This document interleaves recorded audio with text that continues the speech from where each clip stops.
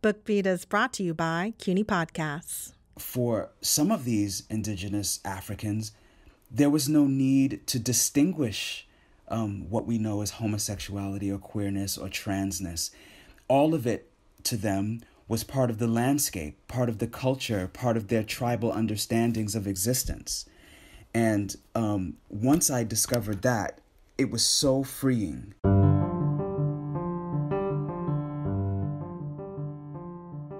Welcome to CUNY BookBeat. I'm Joe Torella.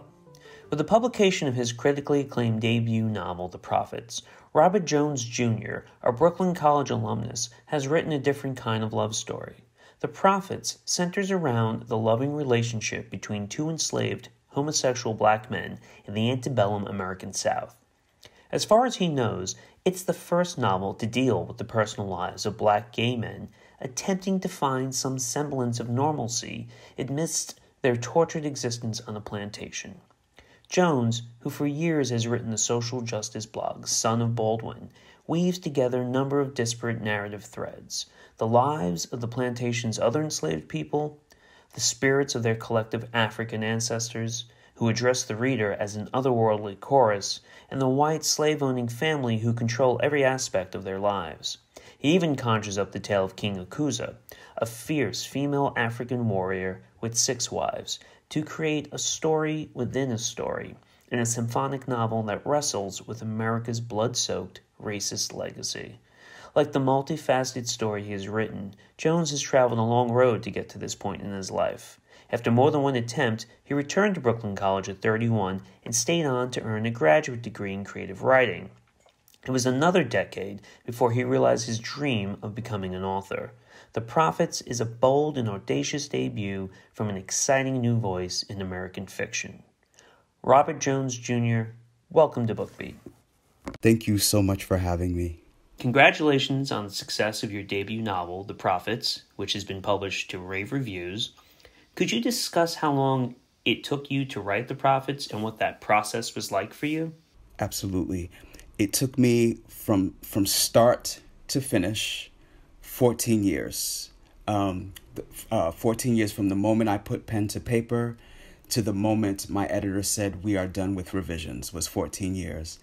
And um, it started when I was at CUNY. I, I, I attended Brooklyn College for both my um, bachelor's degree, um, which I received in creative writing with a minor in Africana Studies, and my master's degree, which I got in fiction. And I was sitting in class my first semester of, of being a graduate student at Brooklyn College, and my fiction tutorial instructor, Stacey D'Erasmo, said to the class, Here's your assignment go out into the world and find objects that a character you're thinking about um, would possess. And flitting around in my head was this not really concrete idea um, uh, that I had for a novel. And I happened upon on the streets of Brooklyn, in the garbage by the curb, a pair of shackles. And I, it, it is the most bizarre thing I've ever seen in the street, but it was um, providence because it, it sort of gave me permission to put down onto paper this idea that I was afraid to write about, which was dealing with blackness and queerness during a particular part of history that is antebellum slavery um, in the South um, during the 1800s. I wanted to write about um, what it must have been like to be both black and queer during that time because I could not find anything written about it to, to any great extent. And I wanted to sort of um, investigate and, and, and dream up what that must have been like as a means to sort of put back into the historical narrative a part that has been erased. I'm glad you mentioned that. I, would like to go right into that because the prophet centers around a love affair, but a marriage, really, if we're being honest. It's a marriage between two male slaves in the American South before the Civil War. And I mean, you've, you've talked about this a little bit, but could you elaborate about how that story came about that you that you that that was the time period that this was the time period that you wanted to discuss as you said, blackness um, and and and gay men loving each other. Yes, indeed. Well, um, as an Africana Studies minor, I had devoured so much work um, of black authors and black scholars and happened to understand something that was missing. Um, prior to the Harlem Renaissance period in America, there was nothing I was finding in the canon that talked about what it was like to be black and queer. And and that was just a question for me being black and queer myself is what what is my lineage? Like what is the lineage for people who are like me? Um and i i you know i found james baldwin and before james baldwin um, wallace thurman who was writing in 1929 about these issues but prior to that i couldn't really find anything except in the context of sexual assault there was um in Incidents in the Life of a Slave Girl by Harriet Jacobs, which is a slave narrative. She talks about how a white master sexually assaulted a male enslaved person. And then also in Toni Morrison's Beloved, um, one of her characters, Paul D., um, there's a scene where he is sexually assaulted by a male overseer. And I thought, yes, but what about love? And that led me to do all sorts of research that I didn't think I would do, such as um, going back even further than antebellum slavery to kind of understand what life was like for black people living on the continent of Africa prior to European colonization and um, the advent of Christian missionaries, and discovered some absolutely wonderful things about how indigenous Africans thought about um, gender and gender identity and sexuality in a way that was so different from how I have been raised to think about it here in a Western culture in America. Um, and that was that for some of these indigenous Africans, there was no need to distinguish um, what we know as homosexuality or queerness or transness. All of it to them was part of the landscape, part of the culture, part of their tribal understandings of existence. And um, once I discovered that, it was so freeing.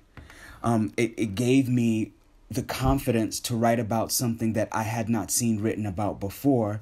And of course, Toni Morrison herself said, If you cannot find the book you wish to read, then you must write it. And though I was terrified, I set about writing it. That's very interesting. Um, I, I don't think I've done anywhere near the amount of research you've done into that, but in my own background, being Italian American, studying a, l- a little bit about Rome and, and Greece, in ancient times, what we would call homosexuality wasn't necessarily seen as as anything wrong. It's some somewhere along the line of humanity, a, a switch seems to have gone off where what was acceptable and recognized as completely normal and just like you said, part of the landscape changed. Yeah, and uh, all of my research points to um, the the spreading of Christianity as the point at which societies that normally saw that as normal suddenly saw it as sinful.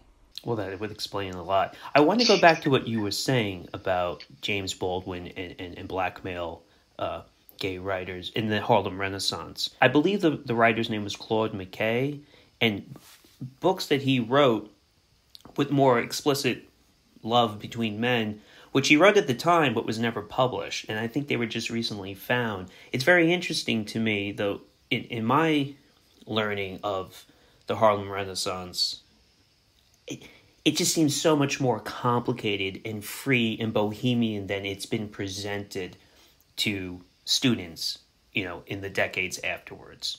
I would utterly agree with that. Um, you cannot um, look at the Harlem Renaissance without looking at its inherent queerness. These um, black artists were um, gay and bisexual, and maybe some of the earliest we understand as um, transgender um, artists in, in working during this time period. But subsequently because of the way our society is structured, in that um, heterosexuality is considered default or normal or the standard, um, maybe unconsciously, um, people who study this period sort of skip that part or try to excuse it or erase it and to focus on the parts that make them feel more comf- comfortable because it's it's almost impossible to um to to talk about somebody like Langston Hughes without talking about the fact that he was um, what we now call bisexual. Um, but um, often our um, educational institutions do just that. They talk about him and his work without talking about um, something that was an intrinsic part of him. And I'm hoping that changes as as we go along and as we discover and become more comfortable and familiar with um, these ideas around LGBTQIA plus and such that we sort of look at this time period in a, in a new way. Well, from there, I'd like to talk about you know how you did some of this research. I believe that's what led you to add this other thread into the novel's narrative, the one about King Akusa, who is this female warrior with six wives, um, who does not recognize homosexuality as anything out of the ordinary, much to the chagrin of the European missionaries who come to her village and murder and enslave her people. Um, I know you did a bunch of research, but could you talk a little bit about that character and how you decided to add that thread and weave it into the tapestry of the novel? One of the reasons why I wanted um, King Akusa and her people to be included in this novel was because I wanted to um, present these ideas about gender identity and gender and sexuality in a way that was removed from what we call the white gaze or the Western gaze. Because let's face it, I grew up in America with very particular ideas about um, all of those things gender, sexuality, gender identity operating on a very binary scale man, woman, uh, straight, gay, so on and so forth. Um, but when I started reading um, the works about pre colonial Africa, including oral testimonies and oral histories, um, I began to understand that the way I looked at things or the way that I was taught to look at things was not universal and it and it wasn't also just it didn't just spring up out of nature these are constructed ideas and i wanted to kind of share that revelation with others who might not know um, that in pre colonial Africa, kings could be men or women or other um, because king was simply a title and, and that was not attached to one's genitals or, or, or one's gender or gender identity. It was simply a prof- profession or, or title. And so um, I learned about um, women kings and I thought, wow, this is this is blowing my mind and I, I absolutely love this idea let me let me meditate on this for a moment and see if there's a way in which this history that I'm learning about can be incorporated and juxtaposed against the history that I already know. And um, it, it was it was kind of an inspiration because I had a dream where a, a sentence came to me um, from whom I'm claiming are the ancestors, and it said, You do not yet know us. And I started to incorporate sort of this um, ancestral voice into the narrative, and that ancestral voice led me to um, go back even further in um, Black history to these pre colonial African societies to investigate and talk about and witness those um, practices and beliefs and cultures and sort of give give the reader a precursor to um, Samuel and Isaiah, the two main characters, and establish that their love has its own history, has its own lineage. I wanted um, the ancestors to function as kind of this chorus that's speaking not just to, to, to me as the author or to the reader who picks up the book, but also to the other characters, connecting all of us um, in a way that um, sort of attempts to heal the divisions between African diasporic peoples. So, um, myself as an African American born in the United States, connecting to um, descendants of Africans born in Brazil, connected to continental Africans, connected to Africans who live in the UK, that we are separate, but we are connected by not just by blood, but by spirit.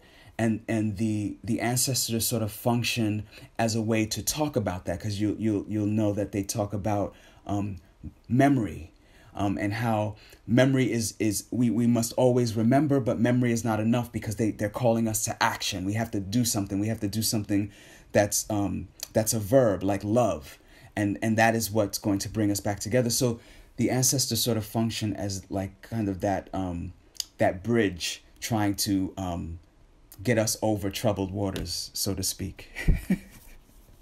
Can you tell us about your upbringing? You grew up in New York City. You went to Brooklyn College. Yeah, I I um I'm a non-traditional student. I I have such my story is is weird because okay I I was born in, in Manhattan, raised in Brooklyn. Um, I did not finish high school. I, I dropped out of high school because I was bullied. I was going to Lafayette High School in um, Gravesend and I dropped out of, of high school and then immediately took my GED and scored almost a perfect score on it. Um, started working. I, I was working for Toys R Us at the time and um, always had this feeling in me though that um, working wasn't enough, that I needed to develop the um, scholarly or ap- academic parts of me in some way. And I applied to CUNY and got into Brooklyn College um, and that was like in 1992. And I did really, really well the first semester, but then the second semester, I, I faltered because I was dealing with a lot at home. Um, I was coming to understand myself as a black queer person and all the troubles and, and, and, and shame and difficulties that come along with that. And I could not focus on my studies. And so I decided to focus on work. Then I tried again in 1997. I came back to Brooklyn College to try again to um, develop the um, academic parts of my life and again failed for the same reasons I could not um, reconcile all of the disparate parts of my life. Um, so I wound up moving to Charlotte, North Carolina for a job with Bank of America.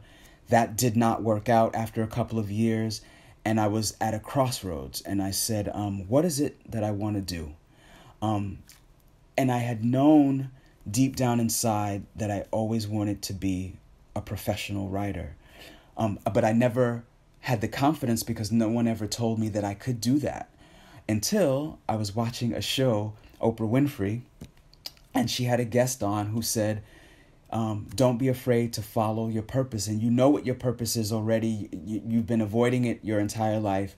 But don't think about the last step. Think about the next step you have to take in order to make that dream a reality. And so at the unemployment office, I'm looking, I'm online and I'm waiting to, to speak to a, a customer service person. And there's this big sign right in front of me that says, if you want to be A, then you have to and they had professions listed on one side and what you had to do next listed on the other. And so I went down the list and I saw writer. And then I went across and it said, get your degree in writing. So I said, I have to go back to school.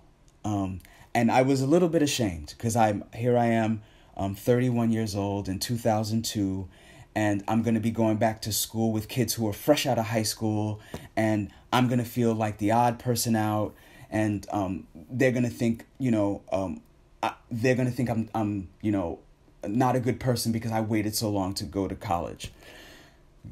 But what I realized and what really happened was I found my community because I wasn't the only student coming back as an adult um, to college at, at Brooklyn College. And um, I was at the point of maturity where I knew exactly why I was there.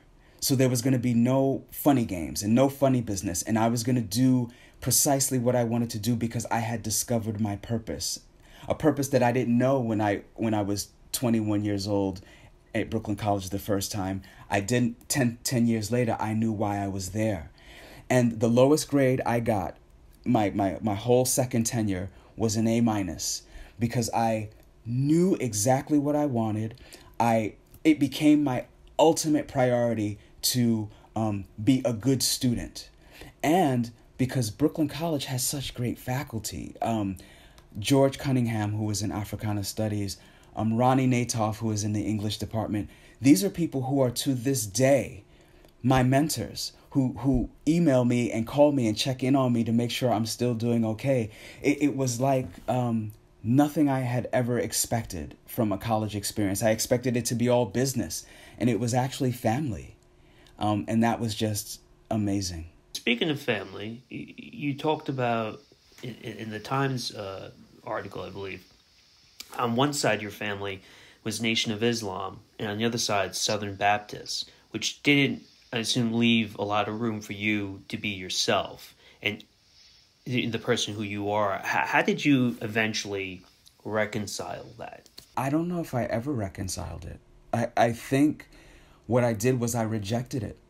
Um, my mother, um, she is, she would not call herself a feminist, but she absolutely has feminist feminist principles, and she rejected both the Nation of Islam that she grew up in and the Southern Baptist that she married into because she refused to be considered secondary. She refused to be thought of as somebody else's property. She refused to, to cover up in order to um, uh, protect herself from men who should she thought should just act like civilized human beings instead of her having to do something in order to um, make them civilized human human beings. So she rejected these religions outright, and she, my mother, is atheist. Um, she does not believe anything without evidence, hard facts. So she kind of provided a path for me to also reject the idea of any spiritual system that could not accept the whole, full me. And so I, while I loved the music and the rhythm and the um, structure of Christianity in particular, I also realized there was no room for me to be my full self within that paradigm. And so I had to um, either put it at arm's length or reject it outright in order for me to be um, sane and healthy. I wanted to ask you you have a very large online following for a blog you've done for a number of years called Son of Baldwin. And at that time, you were writing it anonymously. Um, how did the blog come to be, and how did it influence your fiction writing? Great questions. Um, my first semester back at Brooklyn College in 2002, one of the courses I took was a core course course called um, People, Power, and Politics, which I think was core. Th- I can't remember what number core it was, but that was so many years ago. But I, I God bless um, Brooklyn College for having that core system in place because it was it it introduced me to so many different um, disciplines and I think made me a very well-rounded um, scholar. So I'm I'm sitting in this course with Jeremy Krase, who's a retired professor, and he gives us an assignment um, to read an essay by some gentleman called James Baldwin um, called um, "Here Be Dragons." And I had heard about James Baldwin, but didn't know very much about him at all. And I read this essay, and I was absolutely blown away by the sheer brilliance of it. And it made me go out and read everything else James Baldwin had ever written. And in that discovery, I found that he was black, queer, grew up in New York City, and was a writer. All of the things that I am. And I adopted him as my spiritual godfather and then I, I was like in total Baldwin mode and was wondering why isn't he more discussed? Like how come like in the same breath with uh, Martin Luther King and, and Rosa Parks and Malcolm X, why aren't we also saying James Baldwin? And um, I came across this documentary on PBS where um, toward the end of it, it was about James Baldwin, and, and toward the end of it, James Baldwin's brother um, talks about Baldwin's last words And one of the things he said was, I hope that someone finds me in the wreckage. And that sort of broke me um, because I felt like he wasn't being found in the wreckage. Although he was being taught in schools, he, he didn't have the real mass mainstream appeal that he has now. And I said, um, I am going to start a blog where I talk about um, James Baldwin and all of the things he talked about from race to sexuality to whiteness to politics. And um, we're going to just kind of bring him back into the public consciousness. And so I started the blog Son of Baldwin in 2007 or 8, and people started to engage um, the site um, in conversation, and it started to expand, and it went beyond just focusing on the things, um, all things James Baldwin, to, to focusing on global issues. And um, that is kind of how it started. And it was my introduction to these global ideas. Um, uh, in no other way would I have been able to have conversations with, say, um, a black transgender woman living in Zimbabwe, um, if if not for social media and the internet and this space called Son of Baldwin, which then informed me as a writer about my own um, sort of areas where I need to develop and think about um, politics in a way that's more expansive and not so narrow. Um, and all of that filtered in to my writing as uh, Robert Jones Jr. in The Prophets because now I have a, a wider lens to sort of evaluate all of the topics I'm discussing um, in terms of white supremacy and um, anti queer sentiment and so on. And that was just a tremendous boon to me to, to be able to have so readily available um, so many other perspectives. So maybe without that blog, I mean, it, it sounds like that was a key part of your journey as a writer. Oh, absolutely, absolutely, a- absolutely. It it um, it it really sharpened my politics. Um, so yes. So uh, last question, you had mentioned before the Toni Morrison quote. There's a book you want to read, but it hasn't been written yet. That you must write it. Well, you've now you've written such a book. So, what do you hope happens now that you've you've put this book out into the world? The dream is that whoever reads this book will finish it with a renewed sense of humanity um, and will be less likely to look at their human siblings with anything other than reverence and respect. Um, because right now we're in a time, and maybe we've always been in this time in this country, where we can't even respect each other's basic humanity, um, which is deeply saddening for me. Like it, it just depresses me that we are in this state because we're so advanced in other ways, technology and such.